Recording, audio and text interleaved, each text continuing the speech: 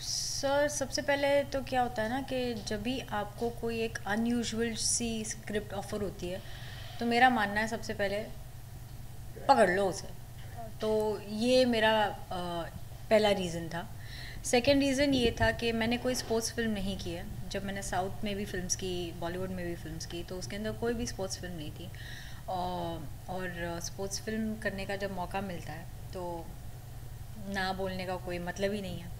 और तीसरा बड़ा रीज़न कि ये गुजराती फ़िल्म है और मैं खुद एक गुजराती हूँ। बहुत ही अच्छा लगा। I think he is actors director जैसे हम सुनते हैं ना कि डायरेक्टर्स एक्टर तो I think this is the other way around he is actors director I mean कभी कभी क्या होता है कि एक सजेशन लेके जाना डायरेक्टर के पास uh, ऐसे कहीं मतलब ये हमारी सोच है कि शायद डायरेक्टर को ऐसे ना लगे कि हम उनके जजमेंट को जज कर रहे हैं या हम we are not believing his vision and all but he is so open to all those things कि मतलब ओपिनियंस हो एडवाइसेस हो सजेशंस हो मोर देन वेलकम और वो कहीं ना कहीं उसको इनकॉपरेट करते अगर उनके समझ में आता है अगर उनको लगता है कि वो अगर uh, उनके सीन को वैल्यू देगा, उसको और बेटर कर देगा तो वो यूज़ भी करते हैं।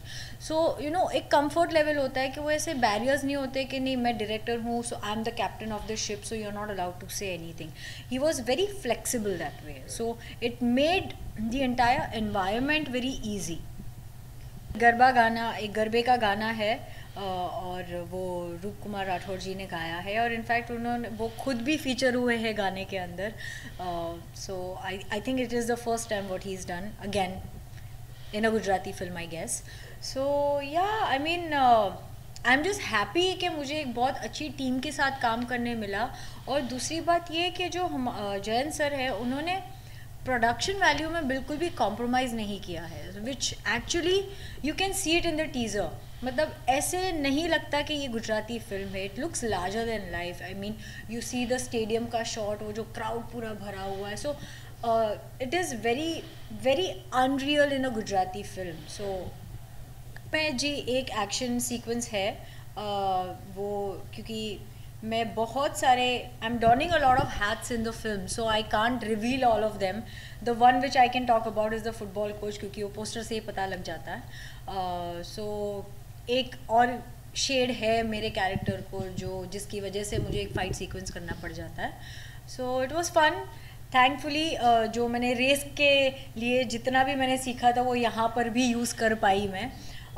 मोजिस uh, सर जो थे वो एक्शन uh, कोरियोग्राफर थे and I work with him for the very first time very fun person to work with and दूसरी बात प्रैक्टिस फुटबॉल की प्रैक्टिस दो से ढाई महीना की हमने सुबह सात बजे हालाँकि मैं मॉर्निंग पर्सन नहीं हूँ so it was extremely difficult initially but then जैसे मोमेंटम आता है वैसे स्केड्यूल भी बनता गया सो या ढाई महीने तक चली and it it actually paid off क्योंकि जितनी भी किक्स वगैरह है आई I मीन mean, चलो बाकी सब तो हम किसी और से करवा भी सकते पर जहाँ पे एक्चुअल में किक मारनी है वो तो खुद के पैर से ही मारनी है तो वो कैसे एंगल में आनी चाहिए?